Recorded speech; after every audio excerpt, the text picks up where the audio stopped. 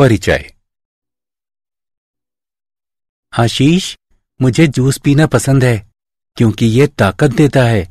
Juice का स्वाद अच्छा होता है, और जब ये ठंडा हो तो और भी अच्छा लगता है। हाँ तुम सही कह रहे हो। प्रिंस, जरा ये बर्फ़ मुझे देना। मुझे अपने गिलास में एक दो और डालनी है। हाँ ज़रूर। आशीष, मैं तुमसे कुछ पूछना चाहता हूँ। हाँ क्यों नहीं? पूछो, बर्फ़ पिघल क्यों रही है? और जब हम इसे जूस में डालते हैं, तब भी ये पिघल जाती है। ऐसा क्यों? ठीक है, मैं तुम्हें बताता हूँ। बर्फ़ का पिघलना ऊष्मा गतिकी का एक उदाहरण है।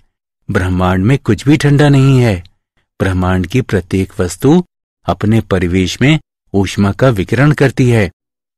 विश्व के उत्क्रम माप में निरंतर बढ़ोतरी हो रही है। इस उत्क्रम माप के कारण बर्फ़ पिघलती है। अच्छा अब मुझे अपने प्रश्न का उत्तर मिल गया। इसके बारे में जानना अत्यंत रोचक है। तो ठीक है, आओ, मैं तुम्हें इसके बारे में विस्तार से बताता हूँ।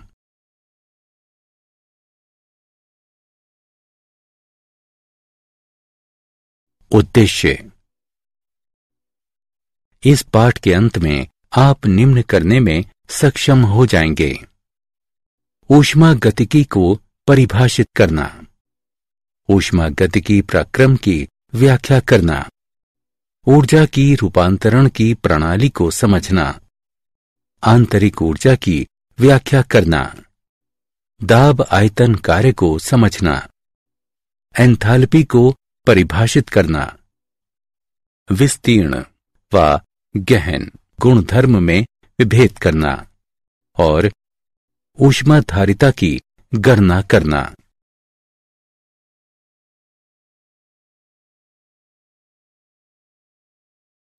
कैलोरीमिति के बारे में जानना।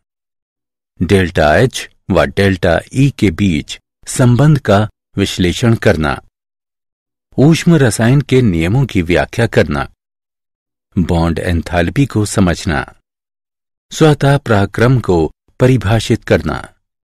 गिब्स ऊर्जा की गणना करना।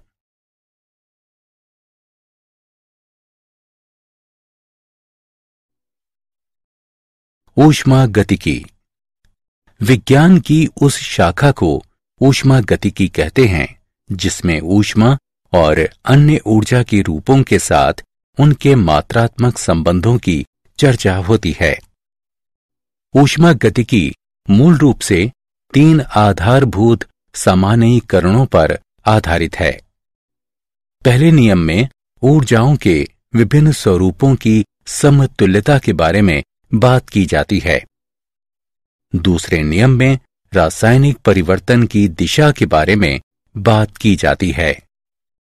तीसरे नियम में ऊष्मा उत्क्रम जैसे ऊष्मा गतिकी के मापदंडों का मूल्यांकन करने में सहायक है।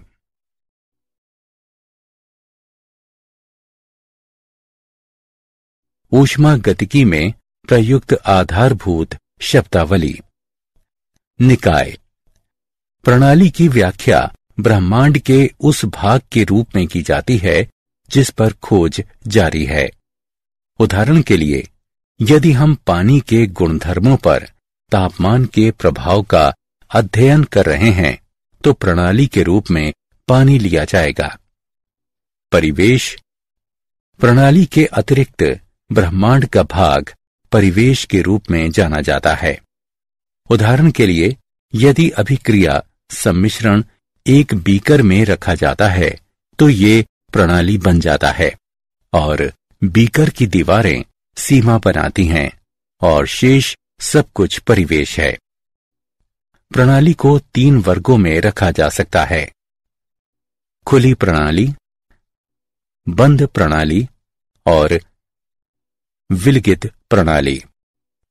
खुली प्रणाली, वो प्रणाली जो द्रव्यमान और ऊर्जा के परिवेश के साथ विनिमय कर सकती है, उसे खुली प्रणाली कहते हैं। बंद प्रणाली, वो प्रणाली जो ऊर्जा का विनिमय द्रव्यमान के साथ नहीं, बल्कि परिवेश के साथ कर सकती है, उसे बंद प्रणाली कहते हैं। विलगित प्रणाली। वो प्रणाली जो न तो ऊर्जा का विनिमय कर सकती है, और न ही द्रव्यमान का परिवेश से उसे पृथक भूत प्रणाली कहते हैं। प्रणाली की दशा। प्रणाली की दशा से अभिप्राय प्रणाली के अस्तित्व से है। जबकि इसके स्थूल गुणधर्म निश्चित मान रखते हैं। उदाहरण के लिए, गैसीय प्रणाली की दशा दाब, आयतन, तापमान और मात्रा से परिभाषित की जा सकती है। इसके स्थूल गुणधर्म निश्चित हो जाने के बाद गुणधर्म स्वतः निश्चित मान प्राप्त कर लेते हैं। जब अन्य स्थूल गुणधर्म नए मान प्राप्त करते हैं तब एक या अधिक स्थूल गुणधर्म प्रणाली की स्थिति में परिवर्तन लाते हैं, जबकि अन्य स्थूल गुणधर्म नए मूल्य प्राप्त करते हैं। इस तरह के स्थूल गुणधर्म दशा परिवर्ती कारक कहलाते हैं। आरंभिक दशा को प्रणाली साम्यावस्था में आरंभिक दशा को संदर्भित है।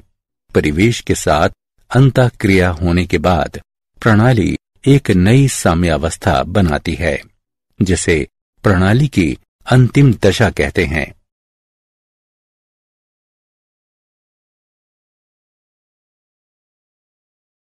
ऊष्मा गतिक पराक्रम, जो प्रक्रिया प्रणाली की दशा में परिवर्तन लाती है, उसे ऊष्मा गतिक पराक्रम कहते हैं।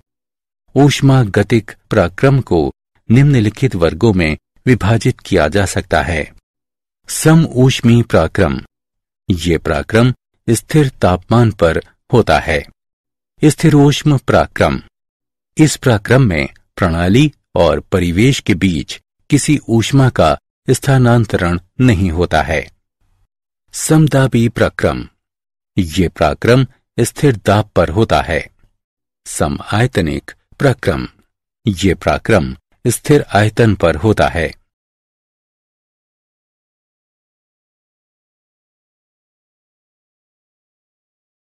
ऊर्जा स्थानांतरण प्रणाली। प्रणाली और परिवेश के बीच ऊर्जा स्थानांतरण की दो महत्वपूर्ण विधियाँ हैं। ऊष्मा।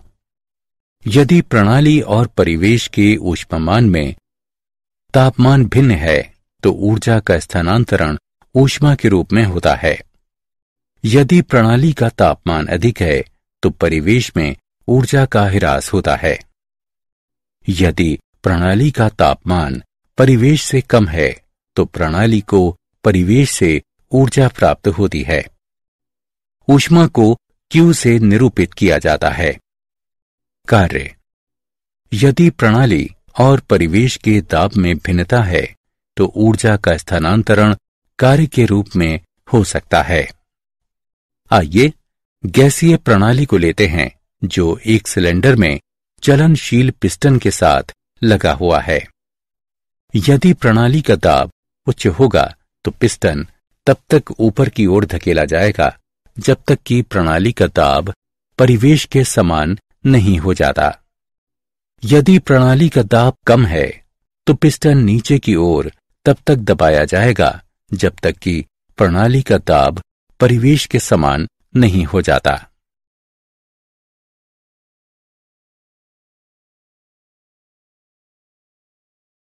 आंतरिक ऊर्जा।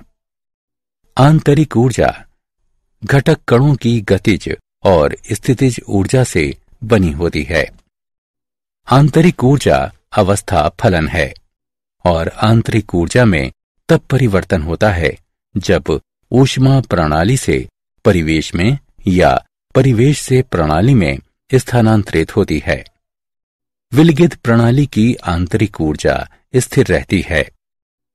किसी प्रणाली की आंतरिक ऊर्जा दो प्रकार से परिवर्तित हो सकती है।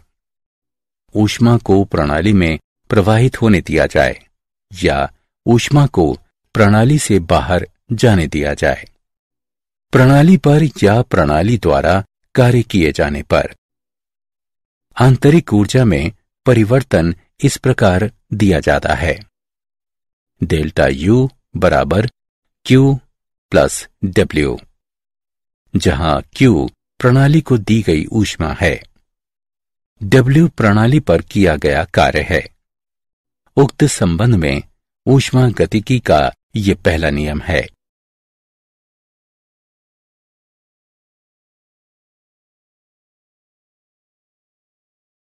दाब आयतन कार्य। गैस भरे एक सिलेंडर के बारे में विचार करें, जिसमें घर्षण रहित पिस्टन लगा है। यदि बाहरी ताप आंतरिक दाब से थोड़ा सा भी कम होगा तो पिस्टन ऊपर की ओर तब तक जाएगा जब तक बाहरी दाब आंतरिक दाब के समान न हो जाए। यदि आयतन और सिलेंडर का अनुप्रस्थ परिच्छेद क्रमशः V और A है तो प्रणाली द्वारा किया गया कार्य बराबर P गुणा A गुणा एल जो पी गुणे डेल्टा वी के बराबर है। आदर्श गैस का उत्क्रमणीय पीवी कार्य। आदर्श गैस से भरे एक सिलेंडर, जिसका आयतन वी है। इसके बारे में विचार करें, जिस पर घर्षण रहित पिस्टन लगा है, और जिसका बाहरी दाब पी है। यदि दाब का अंतर अत्यंत सूक्ष्म है तो आयतन में वृद्धि भी अत्यंत सूक्ष्म होगी। अब दाब आयतन कार्य के कारण प्रणाली द्वारा किया गया कार्य भी सूक्ष्म होगा।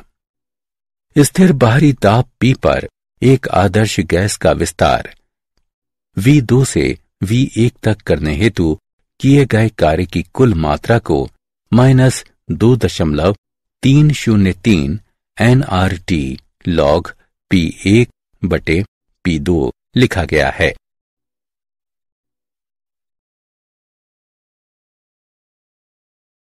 एंथैल्पी। एंथैल्पी अवस्था फलन का उपयोग स्थिर दाब पर ऊष्मा परिवर्तन के मापन के लिए किया जाता है। एच बराबर यू जमा पीवी और डेल्टा एच बराबर डेल्टा यू जमा P डेल्टा वी जमा वी डेल्टा पी स्थिर दाब पर डेल्टा पी बराबर शून्य, अतः डेल्टा एच बराबर डेल्टा यू जमा पी डेल्टा वी इस समीकरण को निम्न रूप में भी लिखा जा सकता है। डेल्टा एच बराबर क्यू पी डेल्टा यू और डेल्टा एच में निम्न संबंध है। डेल्टा एच बराबर डेल्टा यू जमा delta N G R T जहाँ डेल्टा एन जी गैसीय गुणनफल के मूल की संख्या माइनस गैसीय अभिकारकों के मूल की संख्या है। विस्तीर्ण व गहन गुणधर्म। विस्तीर्ण गुणधर्म। प्रणाली के वे गुणधर्म, जो उसमें निहित द्रव्य की मात्रा पर आधारित होते हैं। उदाहरण, द्रव्यमान, आयतन, ऊर्जा, ऊष्माधारिता, एंथैल्पी, उत्क्रम माप, मुक्त ऊर्जा आदि। गहन गुणधर्म, प्रणाली के वे गुणधर्म, जो उसमें निहित द्रव्य की मात्रा से स्वतंत्र होते हैं। उदाहरण दाब, तापमान, घनत्व, विशिष्ट ऊष्मा, तरलता, पृष्ठ तनाव आदि।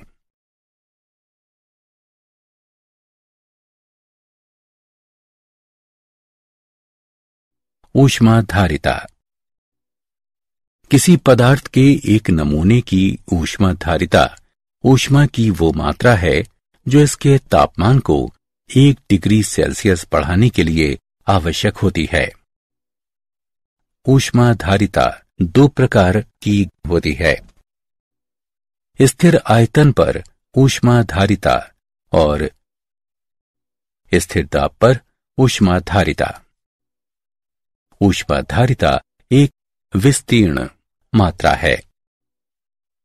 ठोसों के लिए सीपी और सीवी बराबर होते हैं और गैसों के लिए सीपी और सीवी भिन्न होते हैं।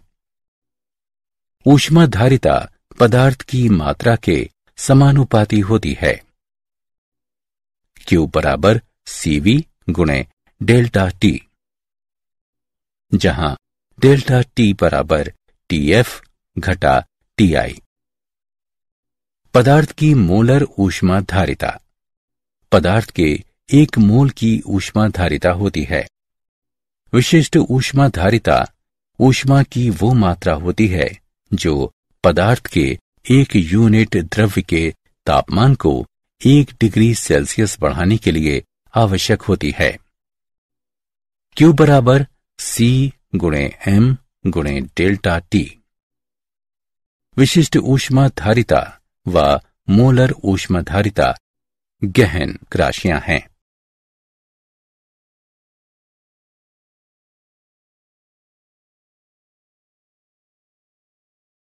कैलोरी मिति।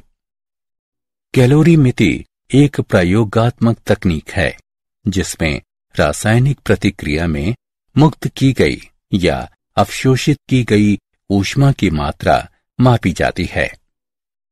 ये पराक्रम एक बर्तन में किया जाता है, जिसे कैलोरी मीटर कहते हैं, जो तरल की ज्ञात मात्रा में निमज्जित होता है। जिस तरल में कैलोरी मीटर निमज्जित है। उसकी ऊष्मा धारिता तथा कैलोरी मीटर की ऊष्मा धारिता ज्ञात होने पर हम तापमानों में हुए परिवर्तन का मापन करके प्रयुक्त ऊष्मा की मात्रा ज्ञात कर सकते हैं। डेल्टा यू माप। वे रासायनिक अभिक्रियाएँ स्थिर आयतन पर ऊष्मा अवशोषित होती हैं। बॉम्ब कैलोरी मीटर में मापी जाती हैं।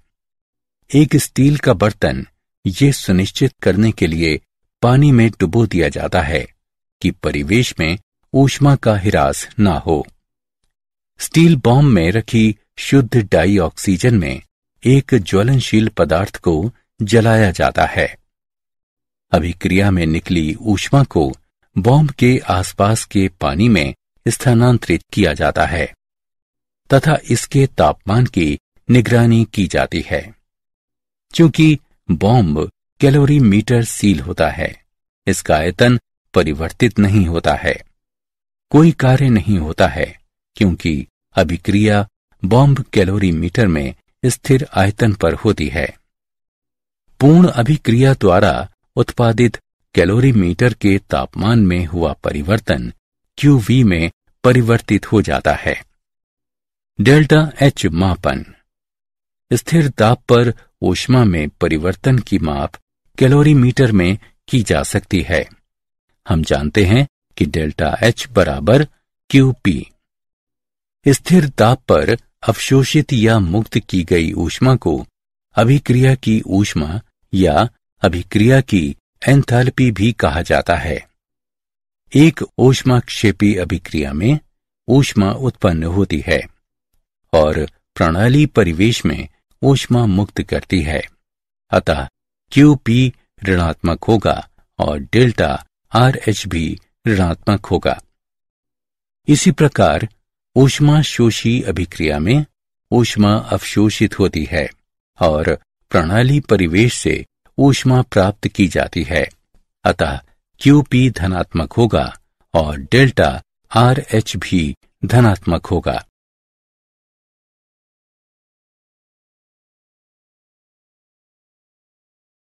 डेल्टा एच और डेल्टा ई में संबंध। एंथैल्पी प्रणाली की आंतरिक ऊर्जा और पीवी ऊर्जा का योग होता है। ये एक मात्रात्मक गुणधर्म और अवस्था फलन भी है। इसका गणितीय रूप से संबंध निम्न है। एच बराबर ई जमा पीवी।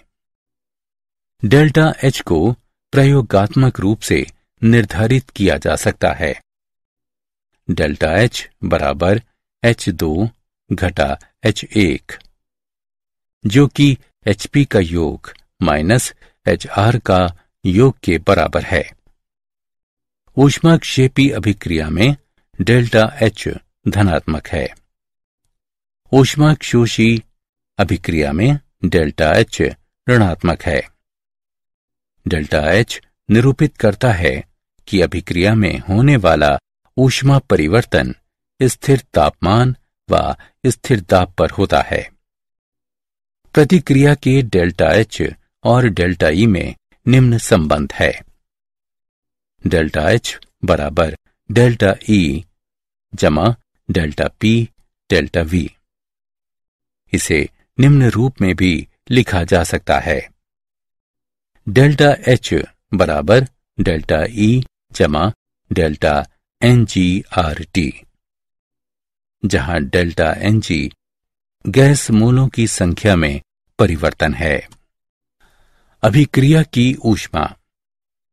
ये एंथैल्पी परिवर्तन है, जो अभिक्रिया के दौरान उस समय होता है, जब अभिक्रिया अभिकारकों की उपभोग की गई राशियाँ और बने हुए उत्पादों की राशियाँ संतुलित रासायनिक समीकरण के अनुरूप हों। डेल्टा एच दो माइनस डेल्टा एच एक बराबर टी दो घटा टी एक गुणे उत्पादों का सीपी गुणे अभिकारकों का सीपी। मानक अवस्था की स्थिति में व्यक्त की गई अभिक्रिया की एंथैल्पी को मानक एंथैल्पी अभिक्रिया कहते हैं।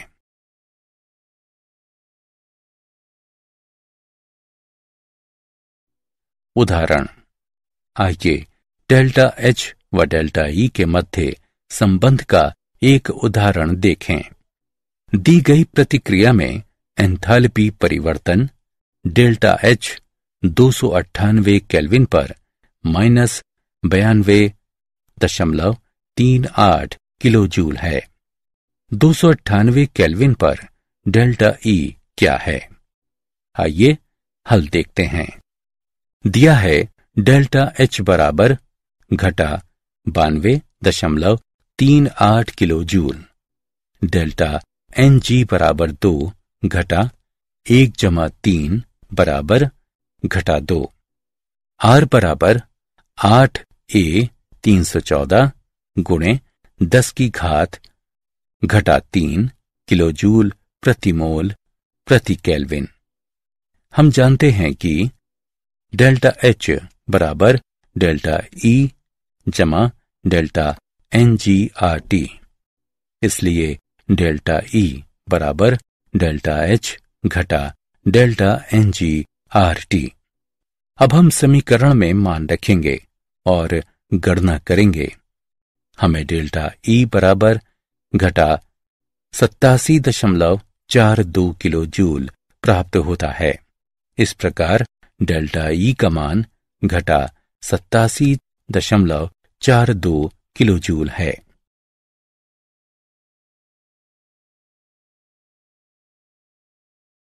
अभिक्रिया की एंथैल्पी के विभिन्न रूप। उत्पत्ति की एंथैल्पी। ये ऊष्मा परिवर्तन तब होता है जब किसी यौगिक का एक मोल उसके घटक तत्वों से प्राप्त किया जाता है। स्वतंत्र तत्वों की मानक एंथैल्पी शून्य ली जाती है। इसका मान यौगिक की रासायनिक स्थिरता का निर्धारण करता है। दहन की एंथैल्पी। ये ऊष्मा परिवर्तन तब होता है जब किसी यौगिक के एक मोल का वायुमंडल की ऑक्सीजन में पूर्ण रूप से दहन हो जाता है। यह सदैव ऋणात्मक होता है, क्योंकि दहन की पराक्रम ऊष्माक्षेपी होती है। विलियन की एंथैल्पी। ये ऊष्मा परिवर्तन तब होता है जब किसी पदार्थ का एक मोल विलायक की भारी मात्रा में विकटित होता है, ताकि और तनुकरण होने पर कोई भारी ऊष्मा परिवर्तन ना हो। जलयोजन की एंथैल्पी। ये ऊष्मा परिवर्तन तब होता है जब जलहीन पदार्थ का पूर्ण जलयोजन होता है। जलयोजन ऊष्माक्षेपी प्रक्रिया है, क्योंकि इसमें जल के अणुओं और मध्यवर्ती धातु आयन में आबंध होता है। संलयन की एंथैल्पी। ये ठोस पदार्थ के एक मोल को गलनांक पर पूर्ण द्रव बनाने हेतु आवश्यक ऊष्मा परिवर्तन है। वाष्पीकरण की एंथैल्पी तरल पदार्थ के एक मोल को क्वथनांक पर पूर्ण वाष्प बनाने हेतु आवश्यक ऊष्मा परिवर्तन। उदासीनीकरण की एंथैल्पी। ये वो ऊष्मा परिवर्तन है जब तनु विलियनों में एक ग्राम अम्ल का समतुल्य तनु घोल द्वारा एक ग्राम क्षार को उदासीन करता है। हाइड्रोजनीकरण की एंथैल्पी। ये एंथैल्पी परिवर्तन तब होता है जब असंतृप्त कार्बनिक यौगिक का एक मोल पूर्ण हाइड्रोजनीकृत हो जाता है। संक्रमण की एंथैल्पी। ये ऊष्मा परिवर्तन तब होता है जब पदार्थ का एक मूल एक परानुवर्ती स्वरूप से दूसरे में संक्रमित होता है।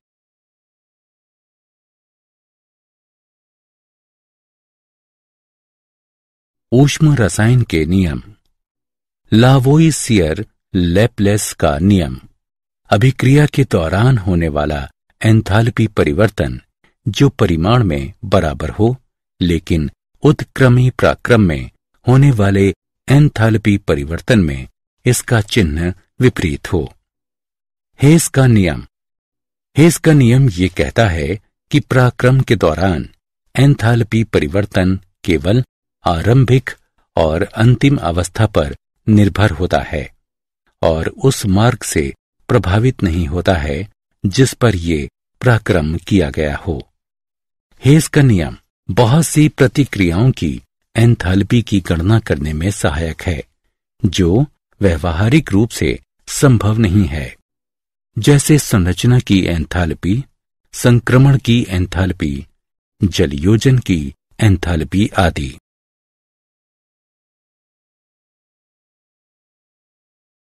Bond enthalpy. बॉन्ड वियोजन ऊर्जा गैसीय अणुओं में विशेष आबंध को तोड़ने के लिए आवश्यक ऊर्जा को कहा जाता है। ये एक निश्चित मात्रा होती है और किलो जूल प्रति अणु में व्यक्त होती है। किसी दुई परमाणुक अणु में शब्द आबंध वियोजन ऊर्जा का अर्थ वही होता है, जो आबंध ऊर्जा का होता है। लेकिन एक से अधिक आबंध वाले बहु परमाणु कणु में शब्द आबंध वियोजन ऊर्जा का अर्थ आबंध ऊर्जा के समान नहीं होता है। आबंध ऊर्जा वो औसत मात्रा है जो किसी गैसीय अणु में उस प्रकार के एक मोल के आबंध को तोड़ने के लिए आवश्यक होती है। अभिकारकों व उत्पादों की बॉन्ड ऊर्जा ज्ञात होने पर अभिक्रिया की डेल्टा एच की गणना की जा सकती है।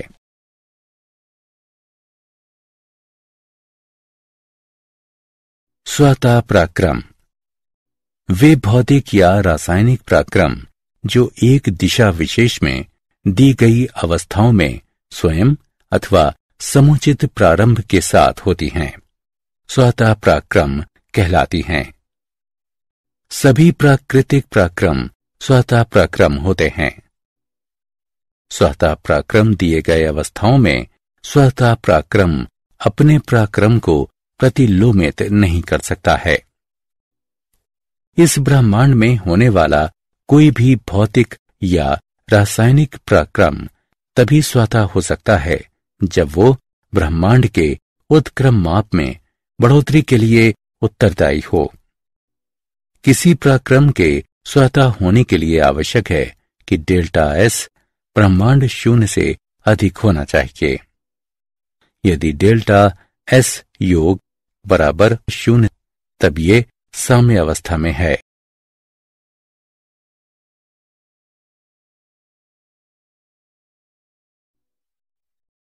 गिब्स ऊर्जा। वो ऊर्जा जो विशिष्ट अवस्थाओं में प्रणाली से निशुल्क उपलब्ध है और जो उपयोगी कार्यों में इस्तेमाल की जा सकती है, गिब्स ऊर्जा कहलाती है। प्रणाली से संबंध संपूर्ण ऊर्जा का एक भाग रैंडम ऊर्जा होता है, जो कार्य में रूपांतरणीय नहीं है। गिब्स ऊर्जा को निम्न प्रकार व्यक्त किया जा सकता है। जी बराबर एच घटा टी एस गिब्स ऊर्जा अवस्था फलन है और इसकी इकाई जूल प्रति मोल है। पराक्रम के दौरान गिब्स ऊर्जा में परिवर्तन। जी दो घटा जी एक द्वारा दिया जाता है। जो डेल्टा एच घटा टी डेल्टा एस के बराबर है। प्रणाली का गिब्स ऊर्जा परिवर्तन दिए गए संबंध द्वारा डेल्टा एस योग से संबंधित है। प्रणाली का डेल्टा जी बराबर माइनस टी डेल्टा एस योग। विशेष अवस्था में प्रणाली का गिब्स ऊर्जा परिवर्तन उपयोगी कार्य को निरूपित करता है, जो प्रणाली से पीवी कार्य के अलावा प्राप्य हो।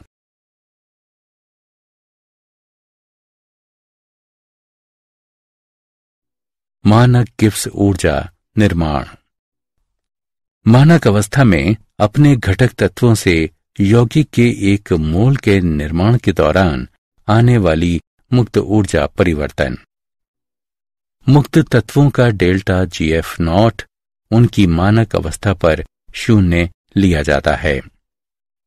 मानक ऊर्जा परिवर्तन अभिकारकों व उत्पादों का मानक मुक्त ऊर्जाओं से निम्न रूप में संबंधित होता है। डेल्टा जी नॉट बराबर उत्पादों का डेल्टा जी एफ़ नॉट का योग माइनस अभिकारकों का डेल्टा जी एफ़ नॉट का योग। डेल्टा जी नॉट अभिक्रिया के डेल्टा एच नॉट और डेल्टा एस नॉट से निम्नानुसार संबंधित है। डेल्टा जी नॉट बराबर delta H nought minus T delta S nought delta G nought साम्य स्थिरांक से निम्नानुसार संबंधित है। डेल्टा जी नॉट बराबर घटा दो दशमलव तीन शून्य तीन आठ लोग के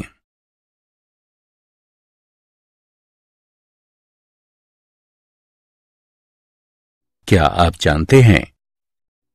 शब्द एंट्रोपी की खोज जर्मन भौतिक शास्त्री रुडोल्फ क्लॉसिस द्वारा 1865 में की गई थी। ऊर्जा के अपव्ययित होने के बाद इसे फिर से इस्तेमाल नहीं किया जा सकता है।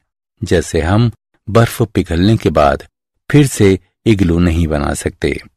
तापमान निकायों के बीच आंतरिक ऊर्जा प्रवाह की दिशा बताता है और उन निकायों के बीच औसत गतिज ऊर्जा पर गमन को संकेतित करती है।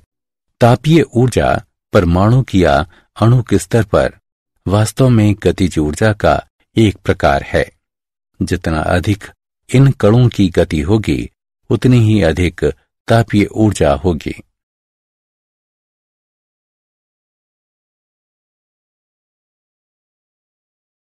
सारांश। आइए हमने जो कुछ भी सीखा है, उसे संक्षेप में दोहराएँ।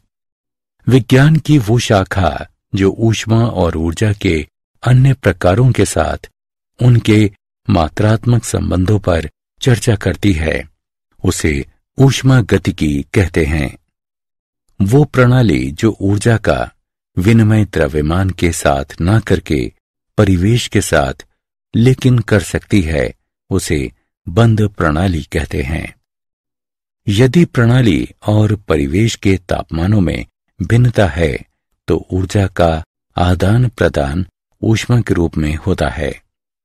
यदि दाब में भिन्नता है तो प्रणाली और परिवेश के बीच ऊर्जा का आदान प्रदान कार्य के रूप में हो सकता है।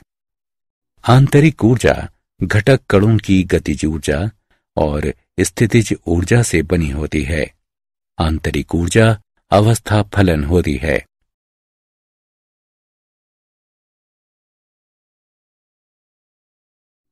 प्रणाली के वे गुणधर्म जो उसमें निहित द्रव्य की मात्रा से स्वतंत्र होते हैं, गहन गुणधर्म कहे जाते हैं।